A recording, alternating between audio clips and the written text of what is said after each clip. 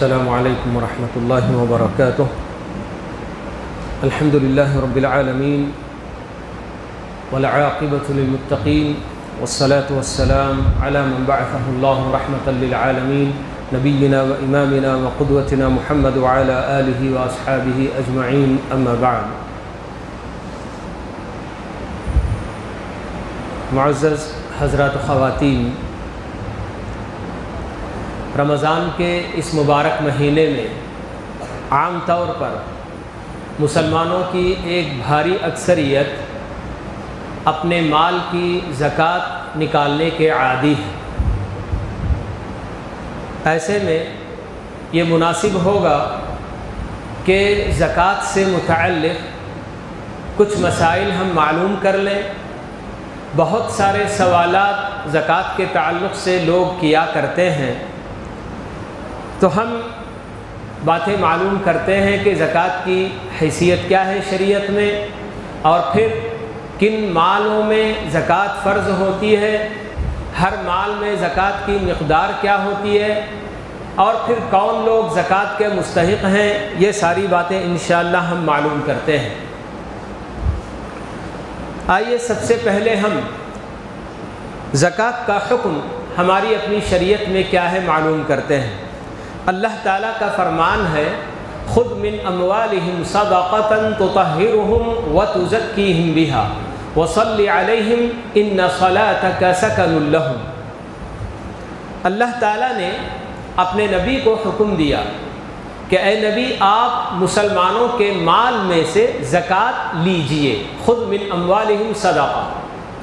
और इस ज़क़़त का मकसद ख़ुद अल्लाह ताला ने बता दिया कि तुतहिरुहुम व तुज़क्कीहिम बिहा। कि इस ज़क़़त के लेने से आप उनको पाकी अता करेंगे। तुतहिरुहुम, आप उनकी ततहीर करेंगे, उनको पाक करेंगे। और जो लोग ज़क़़त अदा करते हैं, उनके हक़ में आप दुआ कीजिए कि आपकी दुआ उनके लिए बाइस सुकून है। अल्लाह ताला ने ज़क़़त को दीन इस्लाम का एक अहम रुकन करार दिया है। जैसा कि इससे पहले रोज़े के ताल्लुक़ से बात बताई गई कि रोज़ा भी इस्लाम का एक बुनियादी रुकन है तो वैसे ही ज़क़़त भी इस्लाम का बुनियादी रुकन है। यानी कि इस्लाम का नाम लेने के साथ पाँच चीज़ें हमारी अपनी जहनों में फ़ौर आना चाहिए। एक तो शहादतैन, यानी कि ला इलाहा मुहम्मदुर रसूलुल्लाह की गवाही, नमाज़, ज़क़़त, रोज़ा और हज, इनके बग़ैर इस्लाम का तस्वुर ही नहीं किया जा सकता। तो ये ज़क़़त बहुत ही अहम रुकन है। जी, आप देखेंगे कि जिस हदीस में अल्लाह के रसूल सल्लल्लाहु अलैहि वसल्लम ने इस्लाम के अरकान बयान किए, बुनियल इस्लाम खम्स कहकर, वहाँ जो तरतीब रखी गई है, वो अहमियत के एतबार से ही तरतीब रखी गई है। सबसे पहले गवाही देना अल्लाह की तौहीद की और मोहम्मद सल्लल्लाहु अलैहि वसल्लम के रिसालत की तो इसके बग़ैर कोई बंदा मुसलमान नहीं हो सकता। तो ये सबसे बुनियादी चीज़ है, सबसे बुनियादी रुकन है। फिर उसके बाद नमाज़ का ज़िक्र आता है कि नमाज़ रोज़ाना एक मुसलमान से पाँच वक्त मतलूब है। इसलिए नमाज़ की अहमियत की पेश नज़र इसे दूसरे नंबर पर रखा गया है। फिर उसके बाद ज़क़़त का ज़क़़त की बात आई है ज़क़़त की तरतीब है। तो ये ज़क़़त को तीसरे नंबर पर इसलिए रखा गया, अगरचे कि ये भी साल में एक मरतबा ही अदा करना है और रमज़ान के रोज़े भी साल में एक मरतबा ही रखे जाते हैं। मगर रोज़ा रखने से सिर्फ़ रोज़ेदार का फ़ायदा होता है, मगर ज़क़़त इसका फ़ायदा औरों को होता है। देने वाले को जहाँ होता है, वहीं लेने वालों का भी इसमें बहुत ज़्यादा फ़ायदा है। तो चूँकि तरफ़ैन से इससे जन्म, तरफ़ैन इससे मुस्तफ़ होते हैं, फ़ायदा उठाते हैं, इसलिए ज़क़़त को मुक़दम किया गया रोज़े पर। फिर उसके बाद चौथे नंबर पर रोज़ा रखा गया और फिर पाँचवा रुकन हज करार दिया गया, जो कि ज़िंदगी में एक मरतबा इस्तात होने पर अदा करना चाहिए। तो ज़क़़त की अहमियत के पेश नज़र, अल्लाह रब्बुल आलमीन ने कुरान मजीद में जहाँ जहाँ नमाज़ का ज़िक्र किया, समझिए कि वहाँ ज़क़़त का भी तकरीबन ज़िक्र किया है। इसीलिए कुरान मजीद की आयतों में तकरीबन 80 पर तीन आयतों में अल्लाह ताला ने नमाज़ और ज़क़़त को एक साथ मिलाकर अल्लाह ताला ने ज़िक्र किया। तो ये सब ज़क़़त की दीन इस्लाम में क्या अहमियत है, ये बताने के लिए काफ़ी हैं। ज़क़़त जो लोग अदा नहीं करेंगे, उन लोगों के लिए बड़ी सख्त वईदें अल्लाह ताला ने सुनाई हैं।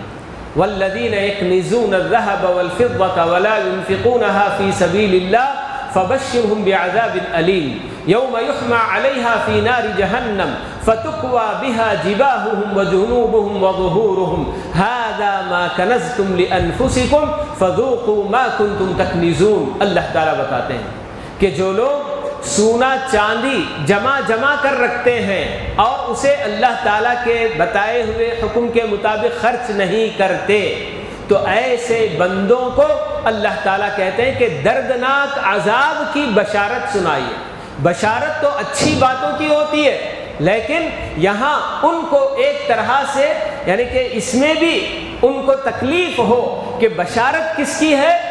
ये दर्दनाक अजाब की तुम्हारे लिए बशारत है कि जिस दिन तुम लोग अल्लाह ताला के पास पहुँचोगे तो जो कुछ तुमने जमा करके रखा था, अल्लाह के बताए हुए हुक्म के मुताबिक खर्च नहीं किया था तो जहन्नम की आग में उसे तपाया जाएगा, गरमाया जाएगा।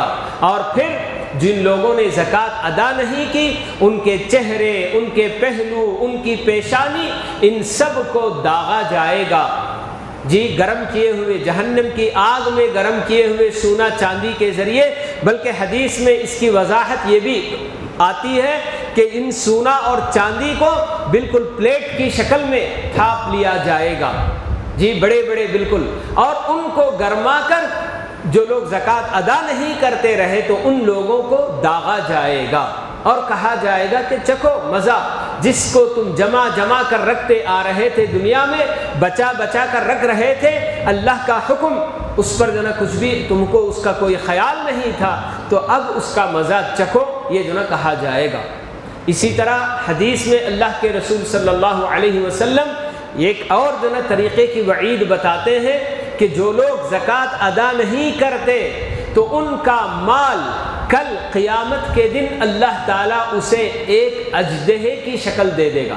अजदहा बहुत बड़ा सांप जी, और ऐसा बिल्कुल कि, यानी कि उस सांप को अल्लाह ताला अंधा बनाएगा कि वो देखेगा भी नहीं।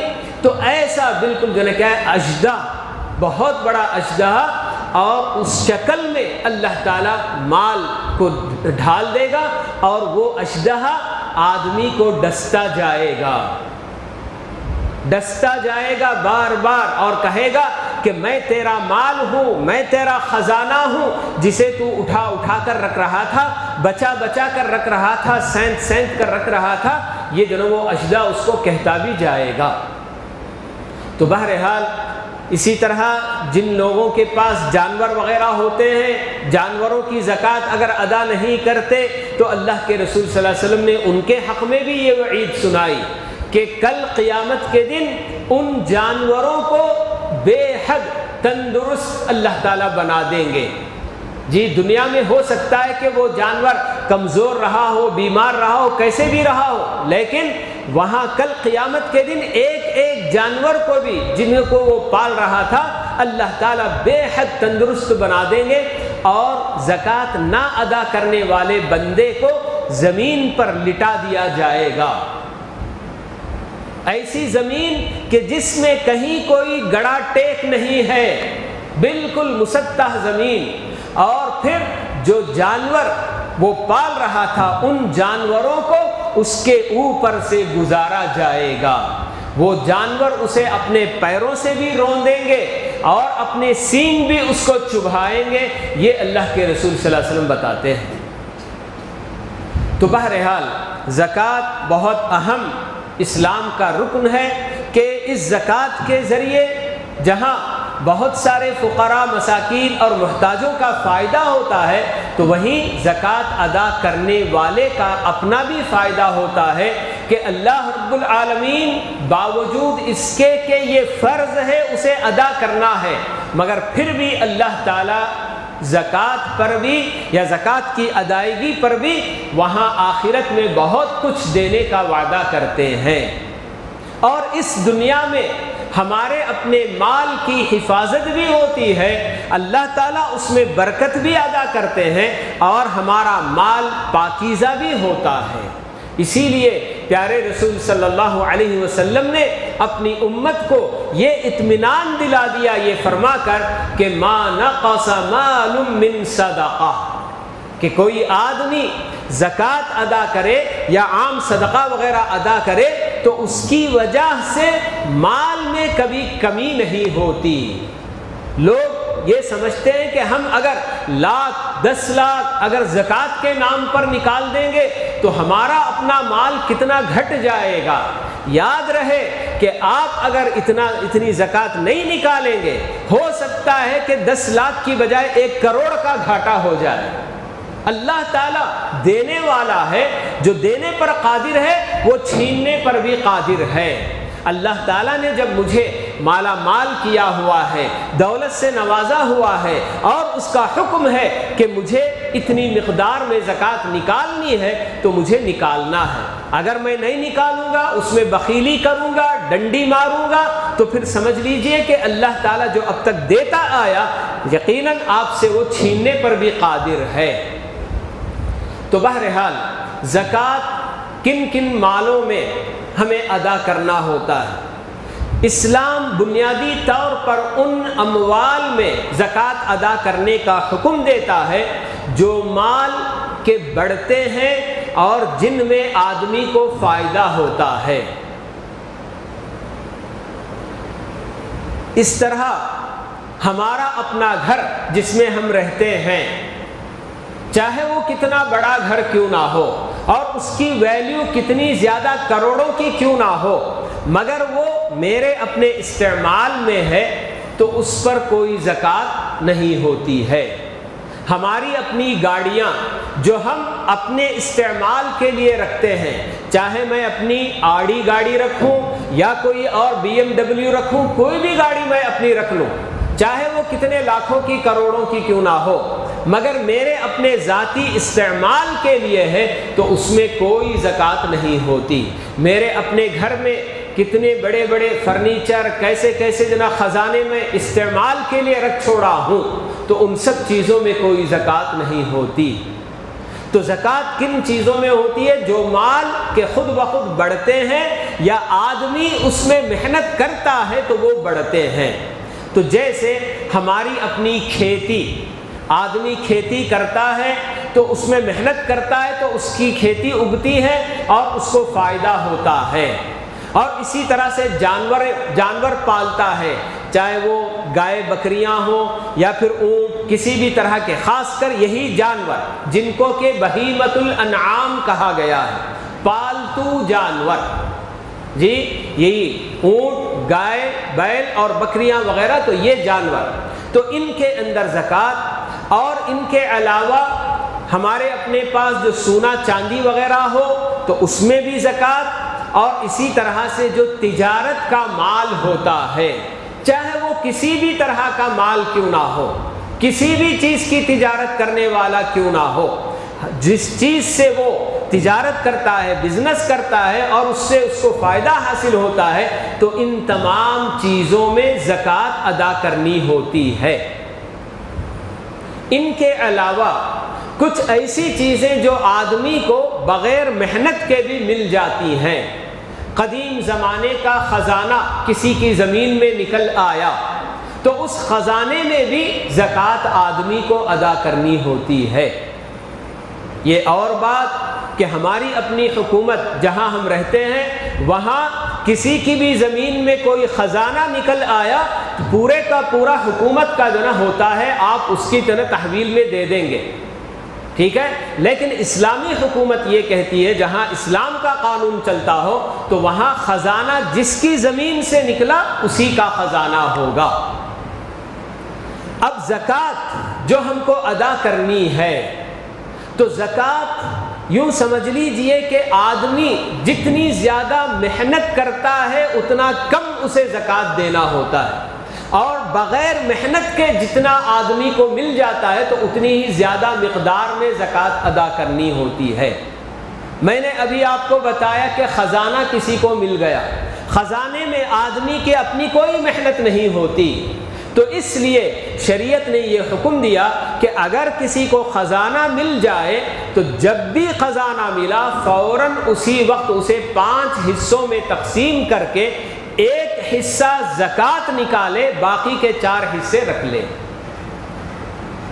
तो ये ज़क़़त गोया के इसमें जो ना ट्वेंटी परसेंट ज़क़़त बिल्कुल जो ना निकालनी है। जो ख़जाना होता है तो उसे पाँच हिस्से तकसीम करके पाँच में से एक हिस्सा मुकम्मल ज़क़़त अदा करेगा।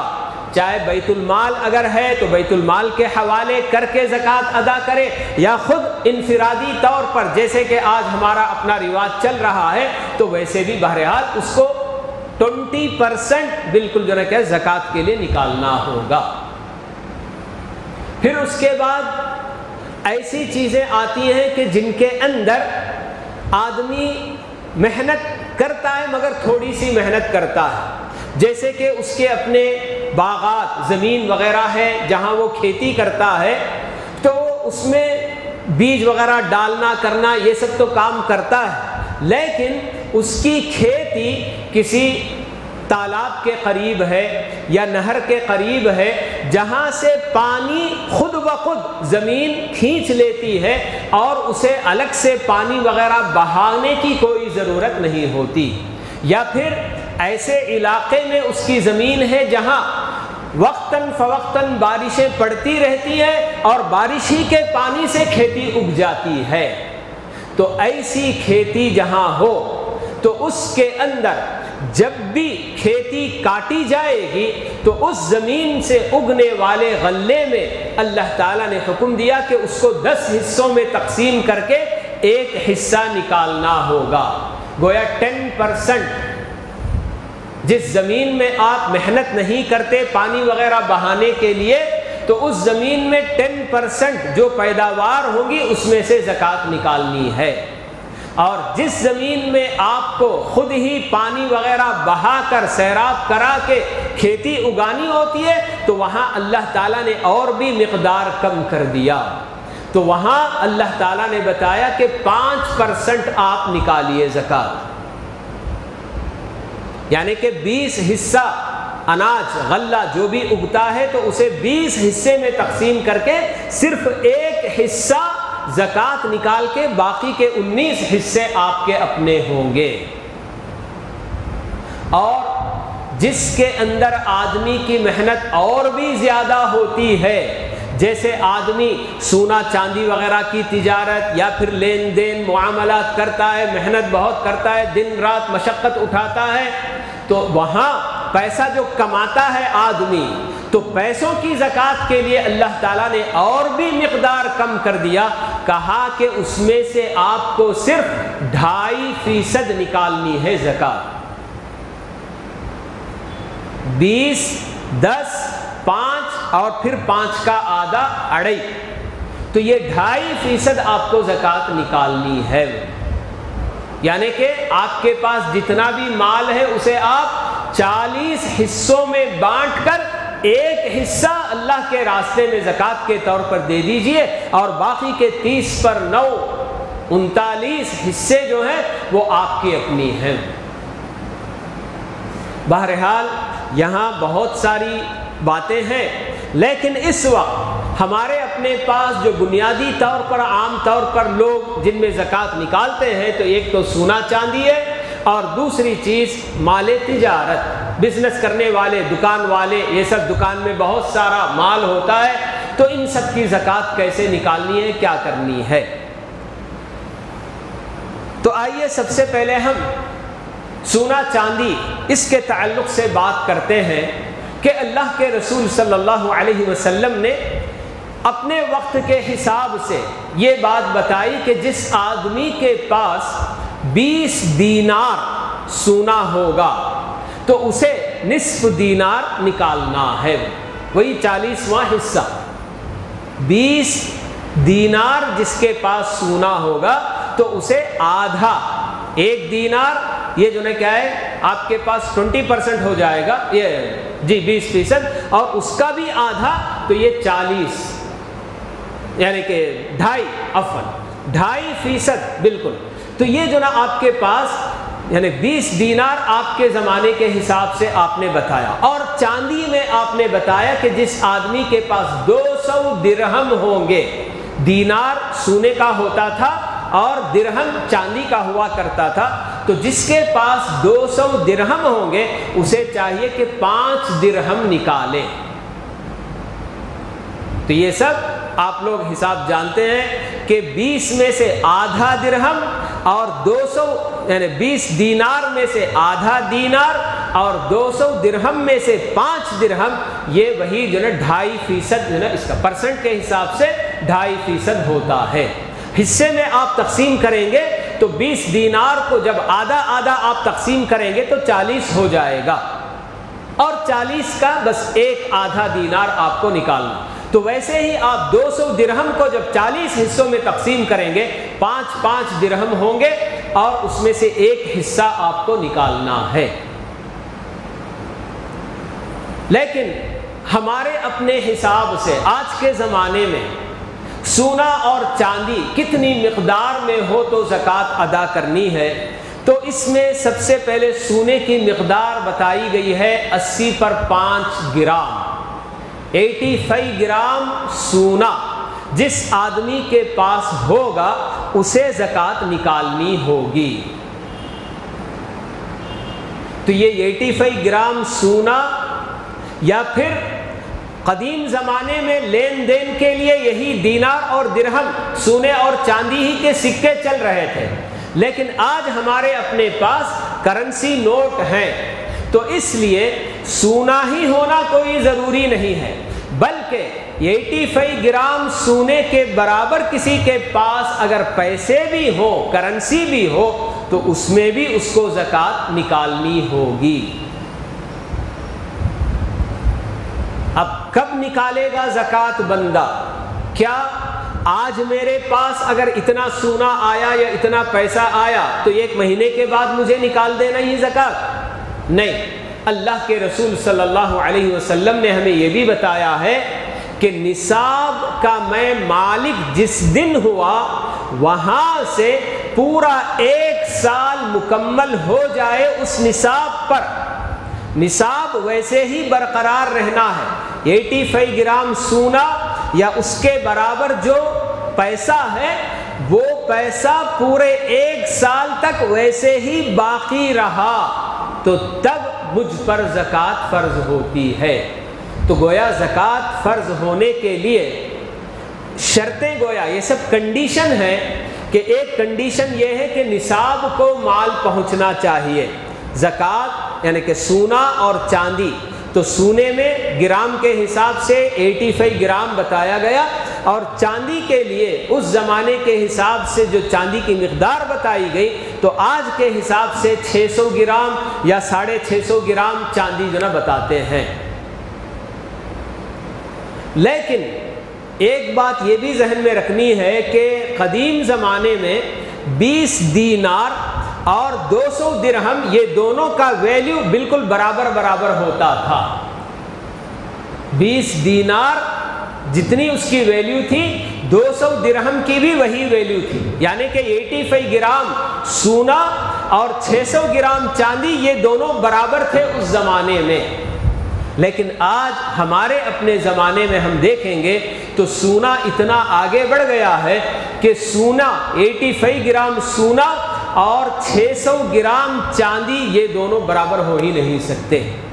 तो इसलिए कि करेंसी जो भी हमारे पास पैसे हैं, उनका अगर उनमें ज़क़़त निकालना हो तो ज़्यादा बेहतर यही होगा कि सोने का एतबार किया जाए। एटी फाइव ग्राम सोने के बराबर जिनके पास पैसा हो तो उन पर ज़क़़त वाजिब होगी। ये और बात के बाद अहल इल्म ये भी कहते हैं कि फ़ुकरा और मसाकिन का जिसमें फ़ायदा ज़्यादा हो, उसको देखना चाहिए। यानी कि फ़कीरों और मोहताजों का फ़ायदा अगर हम देखेंगे तो 600 ग्राम चांदी ख़रीदने के लिए जिसके पास पैसा होगा तो उस पर भी ज़क़़त फ़र्ज़ हो जाएगी। तो बहरहाल, ये उलमा के दो आरा हैं कि सोने का एतबार करेंगे या चांदी का एतबार करेंगे। तो आपको पहली बात ये बताई गई कि सोना सबसे पहले निसाब को पहुँचना चाहिए। यानी कि 85 ग्राम या फिर उसके बराबर पैसा रुपया आपके पास अगर है। और दूसरी शर्त उसके लिए मुकम्मल एक साल उस निसाब पर गुजरना चाहिए। ऐसा भी नहीं कि आज मेरे पास 85 ग्राम सोना था एक महीने के बाद ज़रूरत पड़ने पर मैंने उसमें से कुछ खर्च कर दिया, निकाल दिया। तीन महीने के बाद फिर आ गया मेरे पास। तो जब मेरे पास वो 85 ग्राम या उससे बढ़कर आया तो वहाँ से फिर एक साल का हिसाब करना है। बिल्कुल पैसों का भी यही मामला है कि आज मेरे पास 85 ग्राम सोने के बराबर पैसा है। लेकिन एक महीने के बाद उसमें से आधा पैसा मैंने अपनी ज़रूरत पर खर्च कर लिया तो निसाब से कम हो गया। तो अब वहाँ जक़ात नहीं है। फिर जिस वक्त मेरे पास उस निसाब के बराबर पैसा आएगा तो वहाँ से मैं हिसाब करूँगा एक साल का। के बराबर निसाब में कमी हुए बगैर एक साल की मुद्दत जब गुजरती है तो तभी उसमें ज़क़़त फ़र्ज़ होती है। ये दो कंडीशन हुए, और एक तीसरी कंडीशन ज़क़़त फ़र्ज़ होने के लिए ये भी है कि आदमी उस पैसे का खुद मालिक होना चाहिए, उसकी मिल्कियत साबित होनी चाहिए। ऐसा भी नहीं कि मेरे पास वाकई इस वक्त दस लाख रुपए तो हैं, मगर मेरे ऊपर आठ लाख का कर्जा है। दस लाख अगरचे के मेरे पास है, कैश मौजूद, मगर मेरे ऊपर आठ लाख का कर्जा अगर है तो इसका मतलब ये कि मैं दस लाख का हिसाब नहीं करूँगा, बल्कि अपने पास दो ही लाख का हिसाब करूँगा, और आठ लाख तो दूसरे और लोगों की मिल्कियत है। ये और बात कि मेरा दिल नहीं कर रहा है उसे देने के लिए। जी आमतौर पर लोग ऐसे ही होते हैं। लेने वाले ले लेते हैं, जब देने की बात आती है तो फ़ौरन दिल नहीं करता। तो ये आठ लाख जब दूसरों का हक है तो उसमें भी जक़ात नहीं होती है। मेरा अपना जो माल होगा, बस उसी के अंदर मुझे ज़क़़त अदा करनी है। ठीक? तो ये कंडीशंस होते हैं ज़क़़त अदा करने के लिए। एक तो निसाब का मालिक होना और उस निसाब पर पूरा एक साल गुजर जाना। निसाब से कम होकर फिर बाद में बीच में निसाब को पहुँचा तो जब निसाब को आया, वहाँ से एक साल का हिसाब करना है। ठीक? और इसी तरह से तीसरी शर्त उसके लिए यह है कि उस पूरे पैसे का मैं ही मालिक हूँ। किसी और का हक उसमें ना हो तो तब ये जो ना, जक़ात फ़र्ज़ होती है। तो अब यूँ समझिए कि ज़क़़त जब फ़र्ज़ होती है तो अभी आपको बताया गया कि सोने के अंदर अल्लाह ताला ने बहुत थोड़ी मकदार, चूँकि आदमी बहुत मेहनतें करके दिन रात के पसीना बहाकर कमाता है, करता है तो इसलिए अल्लाह ताला ने उसमें सिर्फ़ ढाई फ़ीसद ज़क़़त निकालने का हुक्म दिया है। मतलब ये कि एक लाख पर ढाई हज़ार, दस लाख पर आप पच्चीस हज़ार रुपये ज़क़़त निकालेंगे। तो ये जो ना, ज़क़़त की मकदार होती है जो अल्लाह ताला ने हमारे ऊपर फ़र्ज़ किया है। और इसी तरह से जो सामान्य तिजारत तिजारत करने वाले लोग, दुकानदार वगैरह भी हैं, उनके लिए भी बिल्कुल यही कानून है कि वो अपने तमाम सामान को सोने ही के हिसाब से देखेंगे। कि एटी फाइव ग्राम सोना के बराबर उनके अपने दुकान के अंदर जो सामान है, उसमें एटी फाइव ग्राम सोना आ सकता है। तो समझिए कि वहाँ से उन पर जक़ात फ़र्ज़ है। उन्हें यही देखना है कि अपनी दुकान में, अब ये बात एक आती है कि आम तौर पर दुकान के अंदर माल आता है, जाता है। ठीक है? तो अगर किसी भी वक्त आपका अपना माल ज़्यादा से ज़्यादा ऐसा होता है कि फ़ायदा आदमी को आता है और फिर वो माल ख़रीद लेता है। तो जिस वक्त आदमी दुकान शुरू किया या जिस वक्त उसकी दुकान के अंदर माल निसाब की मकदार को पहुँचा वहाँ से उसे बराबर देखना चाहिए कि एक साल की मुद्दत तक भी इसमें कोई कमी तो नहीं हुई। यानी कि आदमी अपनी ज़ात पर खर्च कर लिया। पैसा कोई जना चीज़ बेच कर दूसरी चीज़ लेने की बात नहीं, बल्कि अपनी ज़ात पर अगर खर्च कर लिया, निसाब से कम हो गया तो फिर उसके ऊपर ज़क़़त नहीं होगी। जिस वक्त निसाब को पहुँचा, वही 85 ग्राम सोना खरीदने के बराबर तो वहाँ से आदमी हिसाब करेगा एक साल का। और बीच में जितना भी फ़ायदा वगैरह आता है तो उस फ़ायदे के ऊपर अलग से एक साल नहीं देखना है, बल्कि जो असल उसने लगाया, उस पर एक साल गुजर गया तो वही उसके अपने फ़ायदे और प्रॉफिट का भी शुमार उसी में होगा। यूँ समझिए कि मैंने दुकान शुरू की 10 लाख के कैपिटल के साथ 10 लाख की कैपिटल के साथ मैंने दुकान शुरू की। दस महीने के बाद मेरा अपना फ़ायदा उसके अंदर पंद्रह लाख का हो गया, यानी पाँच लाख का फ़ायदा हो गया। बहुत ज़्यादा बोल रहा हूँ मैं। हो सकता है कि आज के ज़माने में दस लाख लगाने पर बड़ी मुश्किल से साल भर में एक लाख, दो लाख लगे। बहरहाल, मिसाल के तौर पर मैं बता रहा हूँ। तो 10 लाख से जब मैंने अपना कारोबार शुरू किया और 10 महीने के बाद मुझे उसमें समझिए कि 5 लाख का फ़ायदा हुआ तो ज़क़़त, यानी कि 12 महीने के बाद जब ज़क़़त निकालूँगा मैं तो पूरे 15 लाख की ज़क़़त मुझे निकालनी है। जी, अभी जो 10 महीने के बाद जो 5 लाख आया तो उसका मैं अलग से एक साल का शुमार नहीं करूँगा, बल्कि 10 लाख मेरे पहले ही से जो लग गए हैं, उसी के अंदर फ़ायदे को भी, प्रॉफिट को भी शुमार कर लिया जाएगा। तो ज़क़़त निकालते हुए दस लाख का दस लाख की जक़ात अलग और पाँच लाख की अलग, ऐसे नहीं निकालना है। बारह महीने पूरे होने के बाद, साल पूरा होने के बाद मेरे पास जितना भी प्रॉफिट के साथ कैपिटल है तो उन पूरे की जक़ात मुझे निकालनी है। ये अच्छी तरह से जहन नशीन कर लें कि दुकानदार जितने भी हैं तो उनके अपने पास जो भी माल होता है, वो निसाब को पहुँचा हुआ और जितना भी प्रॉफिट दो महीने के बाद आया छः महीने के बाद आया, आठ महीने के बाद आया, वो सब कैपिटल के साथ चलेंगे। कैपिटल अगर कम नहीं हुआ, बीच में निसाब से कम नहीं हुआ तो फिर आप उसी का हिसाब बराबर जो ना लगाएँगे। तो इस तरह से ये जो ना हमको ज़क़़त के अहकाम बताए गए हैं कि सोना चांदी में और सामान तिजारत वगैरह में इस तरह से हमको ज़क़़त निकालनी है। ज़क़़त के ताल्लुक़ से बहुत सारे सवालात आते हैं।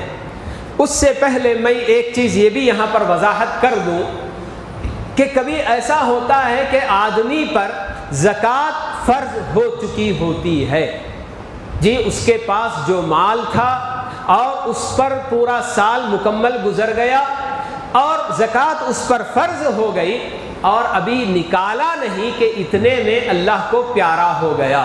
उसकी अगर वफ़ात हो गई तो इसका मतलब ये नहीं कि वो चूँकि ज़क़़त नहीं निकाला, इसलिए अब जो कुछ भी वो छोड़ा है, वारिसिन बीच में तकसीम नहीं कर लेंगे।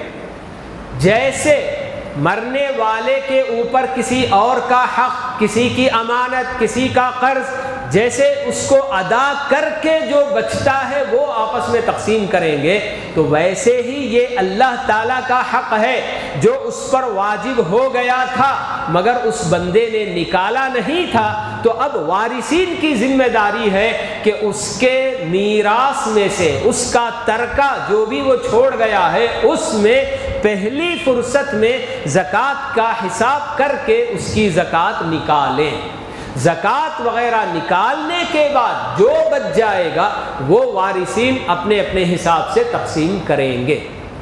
यहाँ बहुत ज़्यादा गलतियाँ होती हैं। लोग इसीलिए मैं इस पर तंबी कर रहा हूँ कि ज़क़़त वाजिब हो जाने के बाद अगर कोई आदमी फौत हो गया तो उसके मर जाने से उसकी ज़क़़त साकित नहीं हो जाएगी, बल्कि उसे अदा करना होगा और ये ज़िम्मेदारी वारिसीन पर होती है।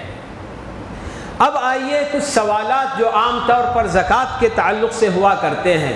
मैं जानवर वगैरह की ज़क़़त के ताल्लुक़ से बात इस वक्त नहीं कर रहा हूँ इन कल वो मज़ीद बातें हो जाएँगी। तो ज़क़़त के ताल्लुक़ से एक सवाल आम तौर पर यह किया जाता है कि कोई आदमी किसी को कर्ज़ दिया रहता है। कर्ज़ वापस वो अदा नहीं कर पाता। तो अब ये बंदा ये कहता है कि ज़क़़त देने वाला कि मैं उसको ज़क़़त देना चाहता हूँ, मगर उसके ऊपर मेरा कर्ज़ा है तो क्या मैं ज़क़़त अपने पास रख कर वो जितना मुझे ज़क़़त देना है, उसे मैं कम कर ले सकता हूँ? तो ये बिल्कुल जायज़ नहीं है।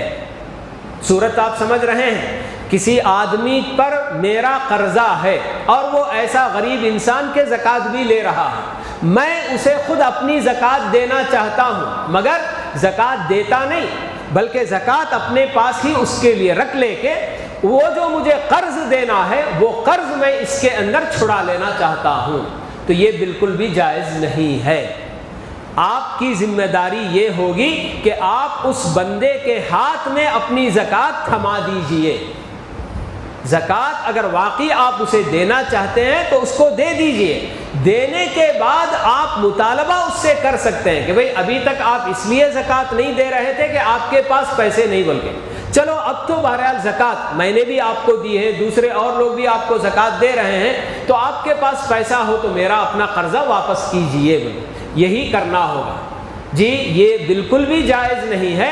कि मेरा अपना कर्जा वसूल करने के लिए मेरी अपनी ज़क़़त की रकम मैं अपने पास ही रख लूँ और उसको बोल दूँ कि भाई मैंने तुमको जक़ात दे दी और उसमें से मैंने कर्जा भी ले लिया। ये जायज़ नहीं है। अक्सर ऐसा भी होता है कि कर्ज हमारे अपने कोई करीबी रिश्तेदार लिए रहते हैं। कभी कोई हमारी खाला, कोई मामू, कोई चाचा अज़ीज़, बहुत ही करीबी रिश्तेदार भी हालात उनके ऐसे होते हैं कि कर्ज़ा ले लेते हैं। तो याद रहे कि कर्ज़ा आदमी के लिए ज़रूरी नहीं कि देने के बाद वापस लेना ही है वो। अगर देने वाला माफ़ कर दे, कर्ज़ा देकर तो ये तो उसके हक़ में बहुत बड़ी बात हो जाएगी। अल्लाह ताला उसको और भी नवाजेगा। ऐसा नहीं कि कर्जा वापस मुझे लेना ही ज़रूरी है। जिस हद तक मुझसे मुमकिन हो सके, आधा कर्जा माफ़ करके आधा देने के लिए कहूँ, ठीक है, पूरे का पूरा कर्जा भी माफ़ कर दूँ, वो मेरे अपने लिए बेहतर होगा। तो बहरहाल, ये जो ना कर्जा आम तौर पर लोग देकर यही समझते हैं कि लेना ज़रूरी है देने वाले पर तो ज़रूरी है देना, लेकिन लेने के लिए वो मेरा अपना इख्तियार है कि मैं चाहूँ तो ले लूँ और चाहूँ तो भाई उसके हालात ऐसे हैं कि आदमी बहुत परेशान है, अब मैं कहाँ उससे कर्ज़ा मेरा वापस लूँ? चलो उसको बोल दूँ कि भाई मेरा कर्ज़ा मैं माफ़ किया, ताकि वो एक इत्मीनान की ज़िंदगी गुजारे। राहत उसको नसीब हो जाए कि मेरे अपने सर पर से इतना बोझ तो उतर गया। तो ये अल्लाह ताला का भी यही हुक्म होता है कि जो आदमी तंगदस्त हो तो उसे आप मोहलत पर मोहलत देते जाओ। नहीं दे पा रहा है तो माफ़ भी कर दो, बेहतर है वो तो ये आम तौर पर जो ने कहा कर्ज़े के ताल्लुक से बात ऐसी होती है। इसी के ताल्लुक से ज़क़़त में एक और बात ये भी आती है कि आदमी का कर्ज़ा किसी और को दिया हुआ है। जब वो ज़क़़त निकालना चाहेगा तो क्या अपने उस कर्ज़े का भी हिसाब करेगा? क्योंकि वो उसका पैसा है। मेरा अपना पैसा, समझिए कि चार पाँच लाख जी किसी कंपनी में अटका हुआ है, कर्ज के तौर पर अभी वहाँ है। जी, और अब या फिर मैंने किसी आदमी को दिया हुआ है और वो मुझे वापस नहीं कर रहा है, और जब मैं अपनी ज़क़़त निकाल रहा हूँ तो क्या उस कर्ज़ का भी मुझे हिसाब करना है? तो यहाँ अहले इल्म ये जो ना बताते हैं कि आपका कर्ज़ा अगर किसी ऐसे आदमी पर है जो इंतहाई तंगदस्त है, वो अभी आपका कर्जा वापस करने की पोजीशन में है नहीं तो ऐसी सूरत में जब वो कर्जा आपको मिलेगा, उस वक्त एक साल की जक़ात उसकी आप निकाल देंगे। बस ये काफ़ी है। हो सकता है कि वो कर्जा आपको पाँच साल के बाद मिले, दस साल के बाद वो बंदा आपको कर्जा लौटाए, मगर आपको पूरे दस साल का हिसाब करने की ज़रूरत नहीं। जिस दम आपने वो कर्ज़ा अपने हाथ में लिया तो वहाँ बस एक साल की ज़क़़त उसी वक्त आप उसकी निकाल देंगे तो वो काफ़ी है। और जहाँ ऐसी जगह आपका कर्ज़ा है कि जो बहुत ज़्यादा बड़ा आदमी है, मगर देने में ताखीर कर रहा है तो ऐसी सूरत में हर साल का कर्ज़ा बराबर शुमार करना होगा। उस कर्ज़े का भी हिसाब करके आप चाहें तो पहले ही निकाल दे, या नहीं तो जिस वक्त आपको कर्ज़ा मिलेगा, उस वक्त पूरे जितने साल भी वो ठहरा रह गया था, उसका हिसाब करके आपको ज़क़़त निकालनी होगी। वाज है कि ये जो ना इस तरह से ज़क़़त, कर्ज़े की ज़क़़त के ताल्लुक से ये अहकाम हमको बताए जा रहे हैं। कि दो साल के बाद, तीन साल के बाद मेरा कर्ज़ा मुझे मिला। मगर ऐसी जगह से मिला कि जहाँ आदमी तंगदस्त नहीं था, वो अपनी जगह पर बहुत बड़ा मालदार, मगर देने में ताखिर उसने की। तो ऐसी सूरत में पूरे तीन साल का भी उस जका, उस पैसे का हिसाब करके मुझे ज़क़़त निकालनी होगी। इसके अलावा, इसी तरह से ज़क़़त के ताल्लुक़ से ये भी जो ना सवाल आम तौर पर लोग करते हैं कि ज़क़़त अदा करने की बजाय ज़क़़त की रकम में हम गरीबों के लिए चावल, राशन या कपड़ा वगैरह ख़रीद कर देना चाहते हैं तो क्या दे सकते हैं? नहीं। आपकी अपनी ज़क़़त की रकम, जो रकम की शक्ल में आप पर ज़क़़त वाजिब हुई है तो आपको वही रकम अदा करनी है। आप उस आदमी के इख्तियार के बग़ैर, यानी उस आदमी की मर्ज़ी के बग़ैर उसके लिए चावल ख़रीद कर दे दिए, या कोई और राशन के सौदा ख़रीद कर दे दिए, या कपड़ा ख़रीद कर दे दिए, ऐसा नहीं चल सकता। है ज़क़़त जिन पैसों में लाजिम हुई है तो वही पैसा ही उसके हवाले करना होगा। अगर वो आदमी, या फिर आप ये कहते हैं उस आदमी को जिसको आप ज़क़़त देना चाहते हैं कि भाई आपके लिए ज़क़़त मेरे पास है, मगर मैं आपको पैसे की शक्ल में नहीं देना चाहता, आप कोई चीज़ चाहते हैं तो बाज़ार से बोलो कि वो ख़रीद कर दे देता हूँ। अगर वो आदमी आपको कहता है कि हाँ मेरे लिए चावल की ज़रूरत है घर में, या फुला फुला चीज़ की ज़रूरत है, वो आप ख़रीद कर दे दो तो उसके बोलने पर आप ख़रीद कर दे सकते हैं। वरना आप अपनी जानब से खुद ही आपके अपनी ज़क़़त के पैसों में चावल के मूटे ख़रीद लिए और बांटना चाहते हैं, ये नहीं हो सकता है। बल्कि आप अपने पैसों ही की शक्ल में ज़क़़त अदा करनी होगी। जैसे आदमी करता है तो वैसे ही बसा अवकात कुछ लोग बहुत सारे सेंटर्स जमयत इनको, उनको बोल के जमात को जो ना ज़क़़त ला कर देते हैं कि हमारी ये ज़क़़त गरीबों तक, मुहताजों तक पहुँचा दीजिए बोल के। तो वहाँ भी इसी का ख्याल करना होगा। वो सेंटर वाले, वो जमयत वाले एक तरह से ज़क़़त अदा करने वाले के नाइबीन हैं। बराह रास्त वो आदमी ज़क़़त अदा करने की बजाय किसी और के हवाले कर दिया कि मेरी ज़क़़त आप अदा कर दीजिए। तो वो सेंटर वालों की ज़िम्मेदारी, जमीयत वालों की ज़िम्मेदारी भी यही होती है कि जो पैसे ज़क़़त के दिए गए, वही पैसे ही अदा करेंगे। ऐसा नहीं कि हाँ सर इसमें से हम फुला चीज़ खरीदेंगे, ये करेंगे और उसको जो है क्या है, गरीबों में बांटेंगे, ऐसा नहीं होना चाहिए। तो ये चीज़ ज़क़़त के ताल्लुक से आम तौर पर सवालात ऐसे जो किए जाते हैं। इसी तरह से एक सवाल ये भी होता है कि क्या ज़क़़त के पैसे मस्जिद की तामीर में लगाए जा सकते हैं? तो नहीं लगाए जा सकते। मस्जिद की तामीर में ज़क़़त का पैसा नहीं लगाया जा सकता। क्यों? इसलिए कि अल्लाह ताला ने ज़क़़त किस किस को दिया जा सकता है, वो आठ किस्म के लोगों को अल्लाह ताला ने ख़ास करके बता दिया कि उनके अलावा किसी और को ज़क़़त नहीं अदा कर सकते। फ़ुकरा, मसाकिन और इसी तरह से जिस आदमी पर कर्ज़े का बोझ है, बहुत ज़्यादा कर्ज़े में डूबा हुआ है, उस आदमी को भी आप ज़क़़त दे सकते हैं। हो सकता है कि वो मालदार भी हो, मगर अचानक कर्ज़े का बोझ उस पर चढ़ गया तो ऐसे आदमी को भी ज़क़़त दी जा सकती है। या फिर इसी तरह से जो ज़क़़त वसूल करने के काम वगैरह करते हैं तो उन काम करने वालों को भी उस ज़क़़त में से उनकी उजरत दी जा सकती है। और इसी तरह से जो, यानी कि मुसाफिर रास्ता भटक कर आपके पास आ गया और उसका सब कुछ खो गया, जैसे कि आम तौर पर, जी, कभी हो सकता है कि वो आदमी अपनी जगह पर, अपने घर पर बहुत बड़ा मालदार भी हो, मगर मुसाफिर की हैसियत से आपके पास कंगाल बनकर आया तो उसे भी आप ज़क़़त में से दे सकते हैं। और इसी तरह से तालीफ़ कल्ब के लिए अल्लाह ताला ने बताया कि ऐसे गैर मुस्लिम कि जिनके इस्लाम लाने से बहुत बड़ा फ़ायदा हो सकता है, कि उसके एक के इस्लाम लाने से और भी बहुत सारे लोग गैर मुस्लिम इस्लाम में दाखिल हो सकते हैं।